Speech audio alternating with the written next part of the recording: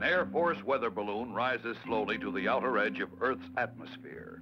While hovering in space directly above it is a rocket ship from Deimos, a Martian moon inhabited by an ambitious, warlike people determined to conquer the planet Earth. Haven't we seen somebody from Deimos before? At this moment, hovering in space a hundred miles above Cape Kennedy, is a giant rocket ship from the Martian moon, Deimos. I thought so. They've upgraded their ships, apparently. They've upgraded, I guess, their look, too. Or else they're all big fans of Garnet. Everything I said about Deimos there still applies, so I won't repeat it. Why we're repeating places of origin for these aliens is somebody else's department. Metal Marauder test model ready for release, sir. Activate electromagnetizer. If this prototype performs as anticipated, we shall render Earth helpless with 10,000 like it. You can't blame them for wanting to relocate to Earth from Deimos. If the population is more than about 25, they have a serious overcrowding problem. And their own host planet Mars is kind of cold this time of eon. Remember, we're supposed to take this thing seriously. Ignore the fact that it looks like something Mr. Spacely would use to send a memo to George Jetson. Hold activation until Marauder is well away from us. It's nearing the weather balloon. Activate now. Especially when it can do that. It moves along and does the same thing to a fighter jet. Clark Kent has to excuse himself from whatever he and Lois are doing to go rescue the pilot.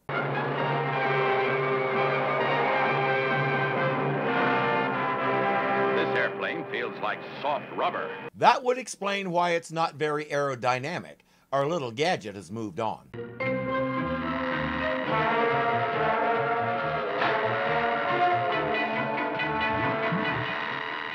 There it is, on that locomotive.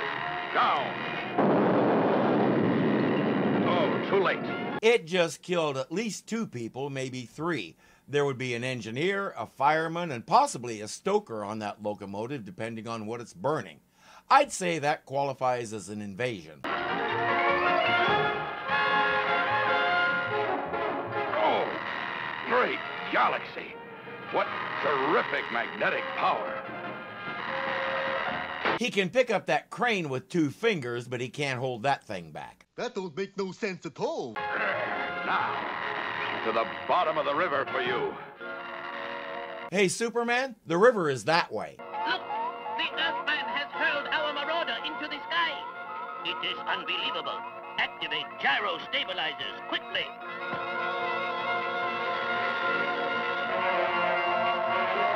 Next stop, a bridge that Lois Lane just happens to be on. It was bad enough that they put the whole world in peril, but now it's personal, dadgummit. Well, there's your problem right there. You're driving clear up on the suspension cables instead of down on the road. Now, how'd you ever manage to get up there? How smoothly the magnetic self-assembly worked. Splendid. The perfect execution of the self-assembly maneuver. You know what? I'm okay with them conquering the Earth as long as they teach me how to fix my busted parts like that.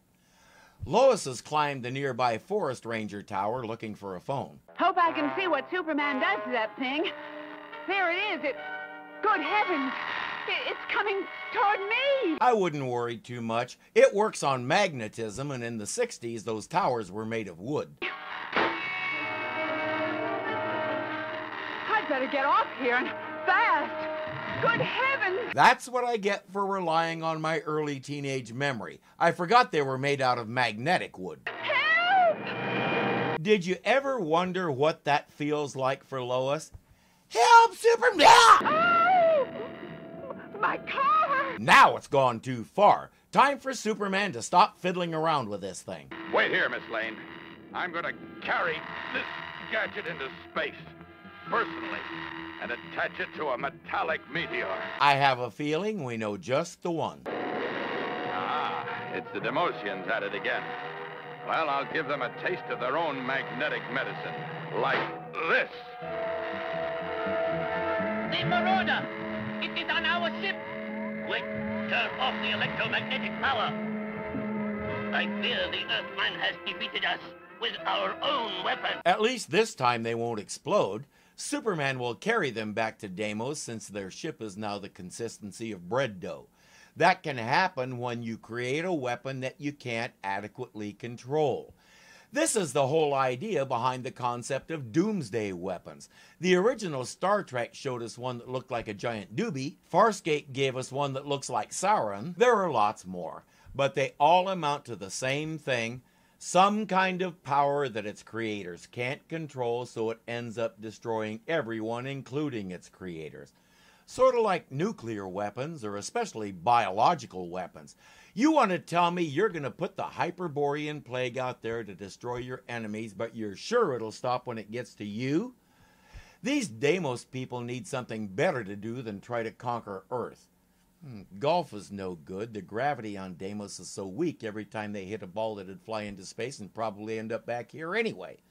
Maybe if we send them a Monopoly game but forget to include the instructions. That could keep them busy for a while. Hey friends, if you enjoyed the video, please click the thumbs up button and let me and YouTube know it. If you're not subscribed yet, you know what to do. And remember, you can become a patron of this channel for as little as $2 a month. Thank you so much for watching, and I'll see you next time. He can pick up that crane with two fingers. Superman will carry them back to Deimos since the. to destroy your enemies, but you're sure it won't stop when it gets. But you're sure it will stop.